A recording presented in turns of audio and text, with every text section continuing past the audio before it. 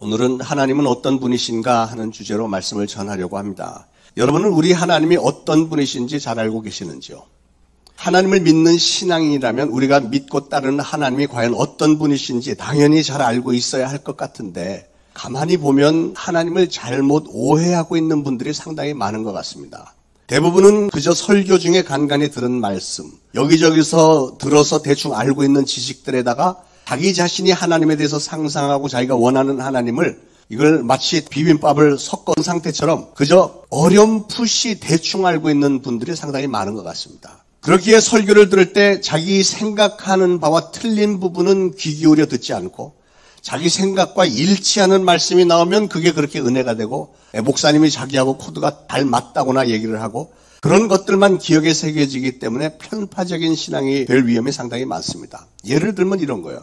아내를 윽박지르면서 사는 남편이 베드로전서 3장에 아내된 자들아 자기 남편에게 순복하라. 사라가 아브라함을 주님이라 부르며 복종했던 것처럼 너희들도 그렇게 하라. 이런 말씀을 들으면 그게 그렇게 은혜가 되고 그게 진리의 말씀인 것처럼 느끼겠죠. 그러나 아내는 바로 그 다음에 나오는 말씀 남편 된 자들아 너희 아내를 귀히 여기라. 이런 말씀을 들으면 또 아내는 굉장히 위로를 받으면서 그 말씀만 기억에 남는 거예요.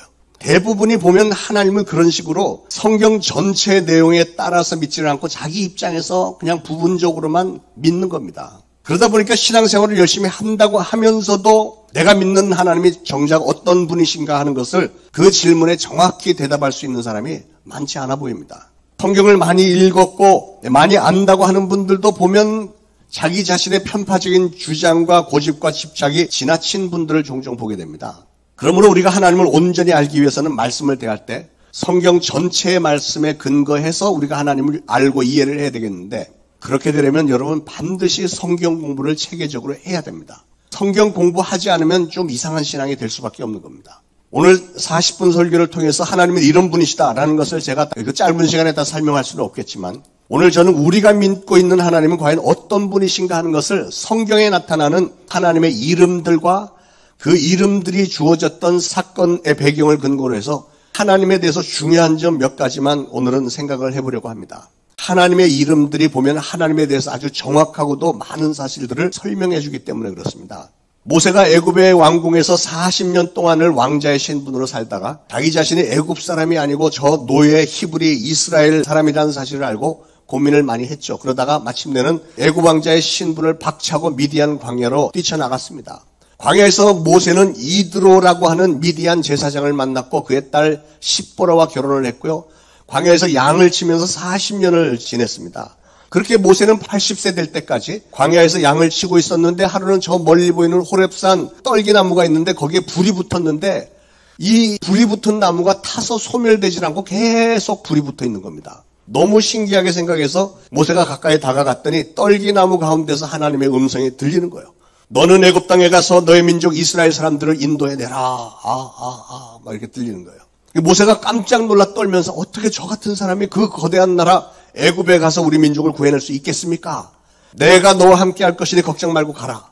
이스라엘 사람들이 혹시 누가 보냈냐 그러면 누가 보냈다고 할까요? 그러니까 하나님의 조남이 어떻게 되십니까? 이렇게 묻는 거예요. 그때 하나님이 주신 대답이 오늘 본문에는 나는 스스로 있는 자다 이렇게 말씀했지만 원래 히브리 말로는 나는 야훼다. 이렇게 대답하셨어요. 야훼. 영어로 표현하면 I am who I am. 나는 그냥 나야. 원래부터 스스로 존재하는 분이라 이 얘기를 지금 하나님이 하신 겁니다. 자, 그러므로 야훼라고 하는 이름은 스스로 존재하는 자라는 뜻인데 훗날의 성경학자들은 이 야훼라는 이름을 감히 부르지 못하고 마치 우리가 아버지의 이름을 함부로 부르지 못하는 것처럼 야훼라고 못하고 그냥 모음만 바꿔갖고 여호와 이렇게 부른 거예요. 그래서 우리 성경에는 여호와라고 기록이 되죠. 자, 스스로 계시는 분이라고 했는데 그게 무슨 뜻일까요? 한번 잘 들어보시기 바랍니다.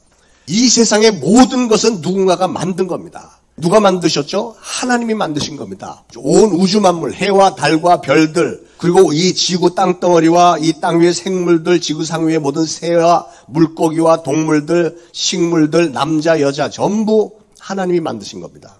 조금이라도 논리적으로 생각할 수 있는 지능이 있는 사람이라면 누구나 다 알 수 있는 진리는 이 세상에 그 어떤 것도 우연히 저절로 생긴 것은 단 한 가지도 없다는 겁니다. 과학적인 논리에서 완전히 어긋나는 것이기 때문에 그렇습니다. 그러나 창조주이신 하나님 한 분만은 예외죠.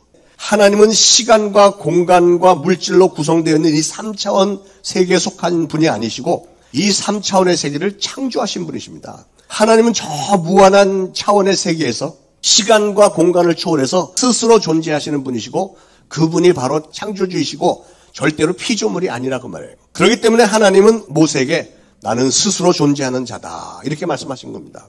하나님은 그렇게 영원토록 스스로 존재하는 분이시기 때문에 하나님이신 겁니다. 그렇기 때문에 우리는 그 하나님을 창조주라고 하고 그 하나님이 우리에게 생명을 주셨고 우리를 이 땅에 보내주신 하나님으로 믿는 겁니다. 만약에 그 정도의 분이 아니라면 우리는 그분을 하나님으로 믿을 필요나 가치도 없겠죠. 우리 하나님은 온 우주 만물을 창조하시고 생명을 주신 분이시기 때문에 우리는 그 하나님을 경외하고 섬기는 겁니다. 그 하나님은 태초의 말씀으로 천지를 창조하셨습니다. 땅이 혼돈하고 공허하며 흑암이 깊음 위에 있었던 그 태초에 어느 날 하나님이 말씀하셨습니다. 빛이 있으라 했더니 짱 하면서 빛이 있었고 그 빛이 하나님이 보시기에 좋았더라. 그러면서 하나님은 천지 창조를 시작하신 거예요. 궁창과 물을 만드셨고 그 다음에 궁창의 광명체들을 만드셨고 낮과 밤을 나누셨고 그것들로 징조와 계절과 날과 해를 이루도록 하셨고요. 물속의 모든 생물들과 하늘에 나르는 새들과 땅의 모든 생물들을 종류대로 만드셨고 마침내 여섯째 날에는 우리 인간들을 만드셨죠. 남자와 여자를 만드셨다고 그랬습니다. 그리고 인간들을 축복하시기를 생육하고 번성하며 땅에 충만하라 모든 것을 정복하라 바다의 모든 물고기와 하늘 나는 새와 땅에 기는 모든 생물들을 다스리라 이렇게 축복을 하셨습니다. 영원 전부터 스스로 존재하셨던 창조주 하나님 야외 하나님께서 이 세상의 모든 것들을 다 창조하셨으며 그 창조의 목적은 무엇이었나 보니까 제일 마지막에 창조하셨던 사람, 인간들이 하나님의 목적이었다는 거죠. 천지 창조의 목적은 인간들을 이 땅에 살게 하기 위함인데 살 수 있는 환경을 만들어 주시기 위해서 첫날부터 쭉 만들어 오신 것이죠. 그리고 하나님은 하나님의 형상대로 지으신 인간들을 바라보시면서 보시기에 심히 좋았더라 그랬어요. 빛이 있었을 때는 좋았더라. It was good 그랬는데 인간을 만들어 놓으시고 그 모든 것을 완성한 그 후에 인간들이 있기 때문에 그 후에 지으신 모든 것을 보시니 보시기에 심히 좋았더라. It was very good 그랬어요. 그리고 하나님은 우리 인간들을 극진히 사랑하셨습니다. 자, 여호와라고 하는 하나님의 이름에 담겨 있는 첫 번째 뜻은 그래서 스스로 존재하는 자라는 뜻이고요. 두 번째 뜻은 구원자라는 뜻입니다. 구원자. 출애굽기 6장에 하나님은 모세에게 이런 말씀하셨습니다. 나는 여호와라 내가 애굽 사람의 무거운 짐 밑에서 너희를 건지며 편 팔과 큰 재앙으로 너희를 구속하여 너희로 내 백성을 삼고 나는 너희의 하나님이 되리니 나는 애굽 사람의 무거운 짐 밑에서 너희를 빼어낸 너희 하나님 여호와인 줄 너희가 알지라 이런 말씀하셨어요. 하나님은 이스라엘 백성들을 노예 생활로부터 구원해 주기를 원하셨습니다. 오늘도 하나님의 최고의 관심사는 죄악에 빠져서 마귀의 노예가 되었고 그래서 영과 육이 함께 죽어가는 인생들을 구원해내는 것이 하나님의 최대 관심사인 줄 믿으시기 바랍니다. 사랑하는 여러분, 죄인으로 태어났기 때문에 마귀의 노예가 되었고 장차 지옥 유황 불못으로 던져질 운명에 놓인 우리 인생들에게 구원보다 더 중요한 것은 없습니다. 구원.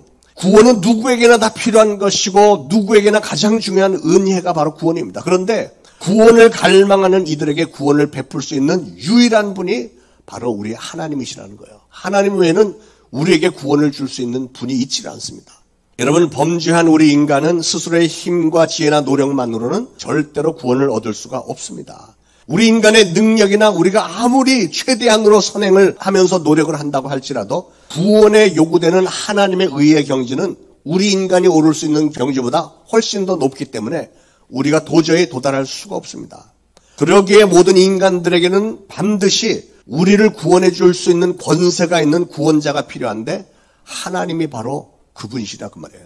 하나님 모든 인간들에게 필요한 죄사함과 구원을 줄 수 있는 유일한 분이시라는 사실을 꼭 기억하시길 바랍니다. 하나님 외에는 이 세상에 그 누구에게도 인간을 구원시킬 수 있는 능력과 권세가 없습니다. 그래서 야훼라고 하는 이름에 담겨 있는 뜻은 스스로 존재하는 분 그리고 구원자 이 두 가지 뜻인데요.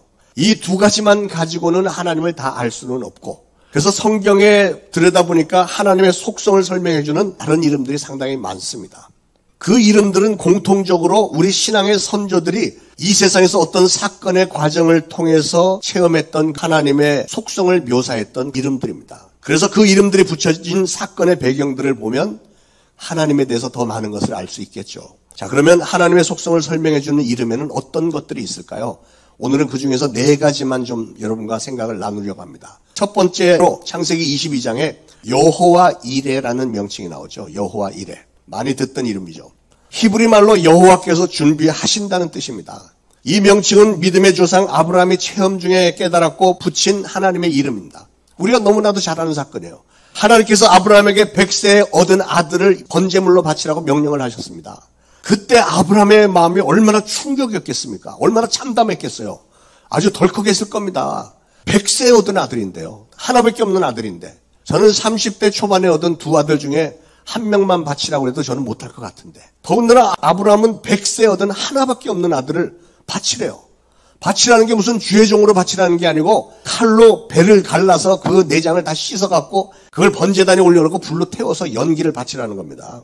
아니 세상에 어떻게 그런 끔찍한 일을 시킵니까? 말도 안 되는 요구잖아요. 차라리 처음부터 아들을 주지를 말지. 사랑이라고 자처하는 하나님이 어떻게 그렇게 잔인한 일을 요구하실 수 있습니까? 그러나 여러분 아브라함이 위대한 것은 그런 말도 안 되는 명령에도 순종했다는 사실이에요. 아브라함은 이삭을 데리고 모리아 땅으로 사흘을 걸어갔습니다. 드디어 이삭을 바치려고 재단에 올려놓고 칼을 내려칠 때 하나님이 그의 손을 막으셨죠. 내 아들 이삭을 바치려고 한 니메뎀 내가 알았다. 하면서 미리 저 숲을 사이에 예비해 두셨던 수양을 제물로 바치도록 하셨죠. 그때 아브라함이 얼마나 감격했을까요? 몇 초 전만 해도 자기 아들을 죽일 뻔했었는데 하나님이 중단시켰는데 딱 보니까 하나님이 예비해 놓으신 수양이 숲에 있잖아요. 와 충격적인 감격을 받았을 겁니다. 하나님의 목적은 내 아들의 생명을 바치도록 하는 게 목적이 아니었구나. 하나님은 나를 이렇게도 사랑하시고 그래서 모든 것을 이렇게 다 예배해 두셨군요 하면서 고백한 말이 바로 여호와 이래. 여호와 하나님께서 다 준비해 주셨다. 하나님의 의도는 사랑이었다고 하는 것을 아브라함은 확실하게 깨달았고 그 예비하신 하나님을 찬양했던 겁니다. 여호와 이래. 여러분, 우리 하나님은 저와 여러분도 극진히 사랑하시고 또 그렇게 여호와 이래 저와 여러분을 위해서 모든 것을 예비해 주시는 하나님이신 줄로 믿으시길 바랍니다. 하나님이 처음에 아브라함을 갈대아우르에서 불러내시고 갈 바를 알지 못했던 그에게 내가 너에게 지시하는 땅으로 가라 이렇게 명령하셨을 때 하나님은 이미 가나안 땅을 예비를 해 두셨던 겁니다. 하나님께서 아브라함을 축복하실 때 저 하늘의 별과 같이 바다의 모래와 같이 너의 자손이 많게 하겠다 하셨을 때 하나님은 이미 이삭을 마음에 품고 계셨던 거예요. 다 예비를 해 두신 겁니다. 우리도 아브라함처럼 하나님의 언약을 믿고 순종하기만 하면 하나님은 우리를 위해서 모든 것을 예비해 주시는 줄 믿으시기 바랍니다. 우리 하나님은 정말로 좋은 분이세요. 제가 평생을 그래도 목회자 아들로 자라서 교회 안에서 생활하면서 하나님을 나름대로 체험을 많이 하면서 보니까 정말 우리 하나님은 좋으신 분이세요. 하나님만 생각하면 감격스럽습니다.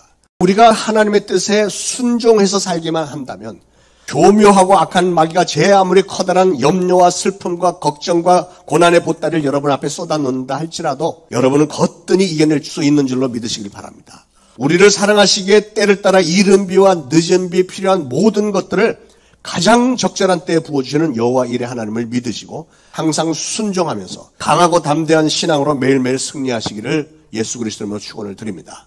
자 하나님의 이름 두 번째는 여호와 니시 여호와 니시. 여호와는 나의 깃발이라는 뜻입니다.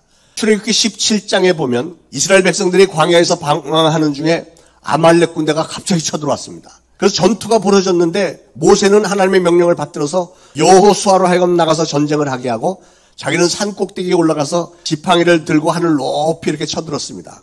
모세가 지팡이를 높이 들고 있으면 여호수아의 군대가 계속 이기고요. 근데 팔이 아파서 지팡이가 내려오면은 여호수아 군대가 뒤로 후퇴하고 막 이랬습니다. 그런데 지팡이를 들고 서 있는 것도 1, 20분이지 어떻게 하루 종일 이걸 들고 있겠습니까? 모세 팔이 자꾸 내려오니까 그래서 어떻게 하죠? 아론과 훌이 너무 안타깝게 생각하면서 돌덩어리를 갖다가 모세 보고 걸터 앉으라고 하고 자기들은 양쪽 옆에서 모세의 손을 다 들어주잖아요. 받쳐주잖아요.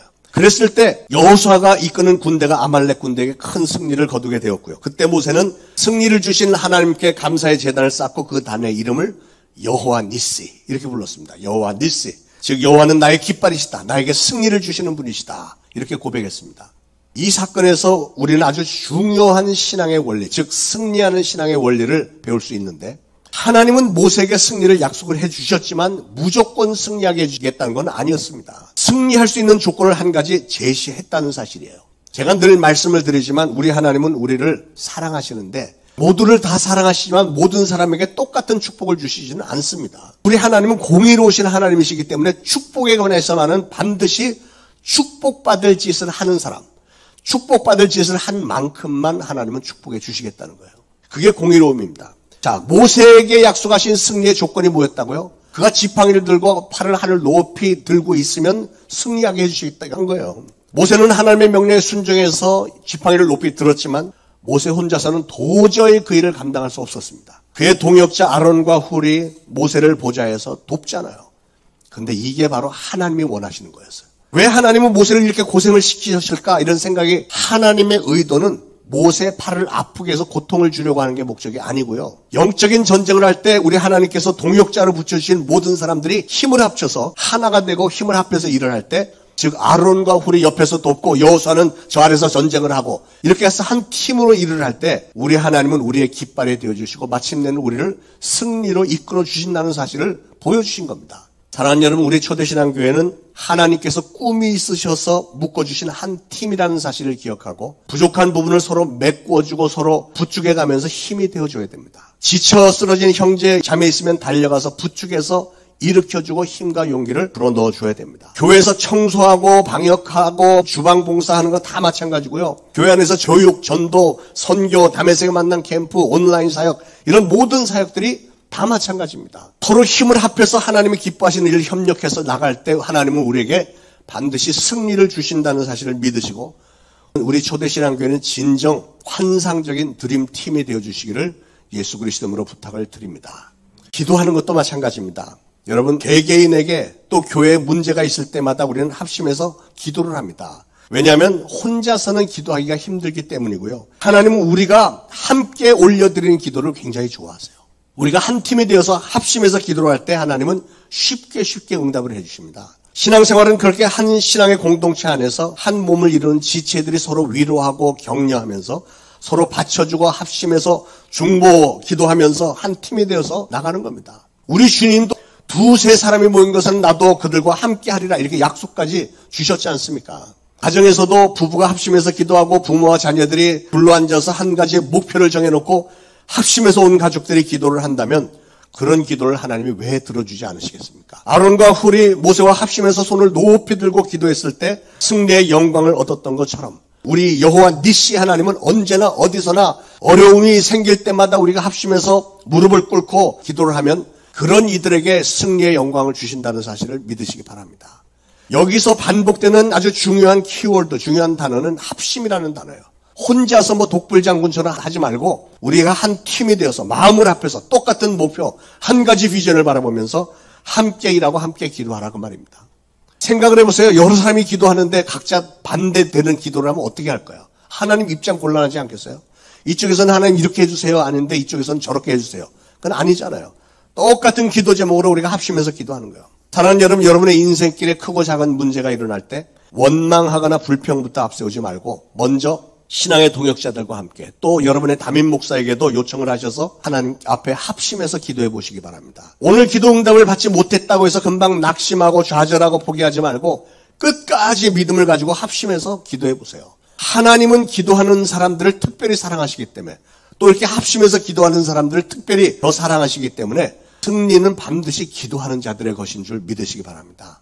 우리 교회는 여러 가지 기도 제목이 있습니다. 여러분들이 다 기억하시고 함께 항상 마음을 합해서 기도해 주시길 바랍니다. 특별히 이 코로나 상황이 빨리 종료가 되어서 모든 예배와 사역들이 다 정상화가 되고 교회가 안정화가 되기를 원하는 간절한 소원이 있고요. 교회 부흥과 또 앞으로 OMI, Online Ministries International 이 온라인 사역들과 또 활발한 선교 사역을 갈망하는 그런 중대한 기도 제목들이 있습니다. 또한 최근에 와서는 우리 노년층의 부모님들의 건강 상태가 좋지 않아서 간절한 기도 제목들이 생겼습니다. 우리 심윤식 집사님의 어머니 이정희 권사님이 원래 건강이 좀 안 좋으셨는데 최근에 와서 많이 위독해지셔서 기도가 좀 절실해졌고요. 우리 고인자 권사님하고 또 우리 김용훈 집사님의 어머니 임경의 어머니 넘어지셔서 무릎을 좀 심하게 다치고 해서 수술 받으셨는데 그래도 우리 권사님은 빨리 회복이 돼서 너무 감사합니다. 예. 일단 노년층에 넘어지는 게 지금 굉장히 참 타격이 큰데 우리 노년층의 부모님들 항상 건강할 수 있도록 또 수술을 받으신 분들 빠른 회복을 위해서 늘 중보기도 해주시기 바랍니다. 이런 모든 기도 제목들은 우리 온 성도들이 다 합심해서 기도할 때 그럴 때 우리 하나님은 그런 기도 안 들어주실 수가 없는 거예요. 사랑하는 여러분, 아론과 훌이 모세의 팔을 부축해서 들어줬을 때 하나님은 이스라엘을 더 사랑하셨고 전쟁에 승리하도록 도와주셨던 것처럼 오늘날 저와 여러분도 힘을 합쳐서 주님의 몸된 교회 사역을 위해서 합심해서 기도하며 나갈 때 하나님은 우리를 더욱더 사랑하시고 승리하도록 인도해 주실 줄로 믿습니다. 하나님의 이름 세 번째는 여호와 샬롬입니다. 여호와 샬롬. 히브리 말로 샬롬은 평강, 화평이라는 뜻이죠. 그러니까 여호와 샬롬은 여호와 하나님은 평강이시다. 우리에게 화평을 주신다 그 말입니다. 이스라엘이 하나님의 섭리와 인도하심 가운데 광야 생활을 다 마치고 드디어 가나안 땅에 들어가서 살게 되었지만 이스라엘은 계속 주변 가나안 나라들로부터 공격을 당하고 침략을 당했습니다. 사사기 6장에 보니까 이스라엘이 하나님 앞에 너무나도 많은 악을 행했을 때 항상 이스라엘 공격에 빠지는 건 하나님 앞에 범죄했을 때 그랬어요. 선민이라고 불리는 그들이 하나님의 뜻대로 살지 않고 우상 숭배하고 하나님에게 등을 돌리고 타락에 빠졌을 때 하나님은 이스라엘 백성들 좀 정신 좀 차리라고 미디안 사람들로 하여금 이스라엘을 공격하게 하셨습니다. 그래서 미디안은 7년 동안이나 이스라엘을 끊임없이 공격을 해댔고요. 이스라엘 백성들의 재산과 또 식량을 추수할 때만 되면 막 쳐들어와서 식량을 다 뺏어가고 이랬습니다. 그러니까 이스라엘 민족들이 7년 만에 드디어 하나님 앞에 잘못했다고 회개를 하고 이제는 우리를 좀 구원해달라고 하나님 앞에 부르짖었습니다. 그때 하나님 그들의 회개를 받으셨고 기도원을 부르셔서 사사로 세우려고 했더니 기도원이 아니 저같이 보잘것없는 사람이 제가 뭘 할 수 있습니까? 하면서 두려워합니다. 그때 하나님의 말씀에 내가 반드시 너와 함께 하리니 내가 미디안 사람 치기를 한 사람 치듯 하리라. 그랬는데도 이 기도는 여전히 자신이 없습니다. 그래서 기도는 하나님 앞에 재단을 쌓고 표적을 보기를 원하는 거예요. 자기가 재단을 쌓고 하나님 앞에 제사를 올리면 하나님이 자기의 재물을 받아주시기를 원했던 거죠. 그때 하나님이 그의 제사를 특별한 방법으로 응답을 하셨는데 뭐냐면 하나님의 사자 즉 천사가 지팡이 끝을 그 고기에다가 재물에다 딱 댔더니 반석에서 확 하고 불이 나면서 그냥 그 재물을 삽시간에 다 태워버렸습니다. 그때 기도원이 얼마나 놀랐겠습니까? 그래서 거기서 확신을 얻는 거예요. 아, 하나님이 우리 백성을 저 미디안의 공격으로부터 막아주시고 우리에게 이제는 평화를 주시려고 하는구나 확신이 들어왔습니다. 그래서 기도원이 감사의 재단을 쌓고 그 재단의 이름을 여호와 샬롬이라고 이름을 붙였습니다. 기도원은 그 장면에서 하나님은 우리 이스라엘 백성들을 극진히 사랑하시고 그러기에 이제 드디어 우리에게 평강을 주시기를 원하시는구나 하는 것을 깨달았던 거예요.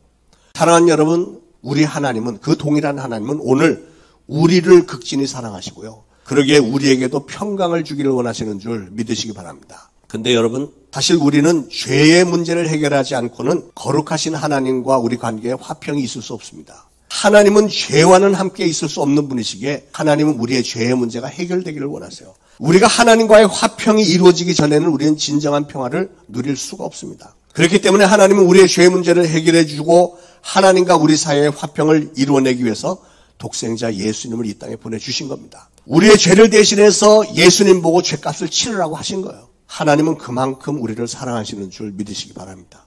독생자를 희생시켜 가면서까지 하나님은 우리와 화해를 하기를 원하시는 겁니다. 여러분 예수님이 이 땅에 오신 목적이 무엇입니까? 그것은 우리의 죄 문제를 다 해결해 주심으로 우리가 하나님과 화평을 이루고 그렇게 함으로써 전쟁도 없고 죽음도 고통도 없는 영원한 천국의 우리를 구원해내기 위해서 그러신 거예요.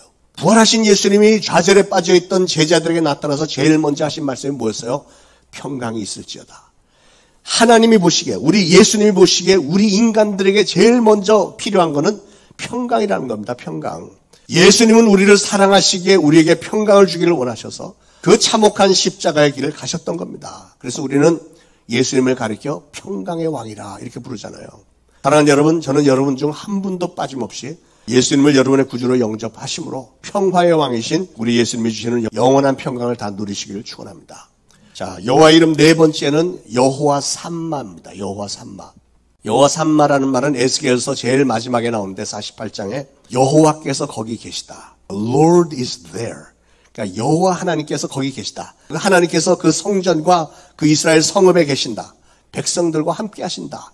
임마누엘과 같은 의미입니다. 왜냐하면 하나님은 우리를 사랑하시니까. 하나님은 우리를 사랑하시기 때문에 임마누엘 우리와 함께 하시고 여호와 삼마 우리와 함께 하시는 하나님이신 줄로 믿으시길 바랍니다. 이제 말씀 정리하겠습니다. 여러분, 우리는 하나님을 바로 알고 하나님을 올바로 믿는 성도들이 되어야 되겠습니다. 우리가 믿는 하나님은 스스로 존재하시는 분이시고 우리는 바로 그분의 피조물입니다. 하나님은 우리를 극진히 사랑하십니다. 그러기에 하나님은 우리를 구원해 주기를 너무나도 간절히 원하세요.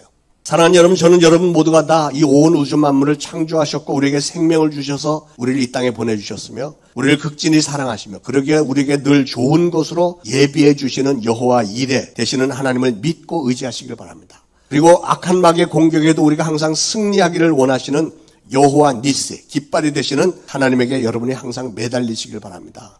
또 여호와 샬롬 우리에게 평강을 주시는 하나님 그리고 또 우리와 항상 함께 하신 임마누엘 여호와 삼마 되신 하나님과 늘 동행하시면서 그 하나님의 놀라운 사랑 안에서 아름다운 신앙생활 잘들 하시고요. 우리를 위해서 예비 놓으신 모든 축복 다 받아 누리며 또 항상 승리하고 평강하시며 그래서 좋은 신앙의 열매들을 많이 맺게 되기를 예수 그리스도 이름으로 축원을 드립니다. 기도하기 전에 제가 오늘 특별 찬양 하나 하겠습니다.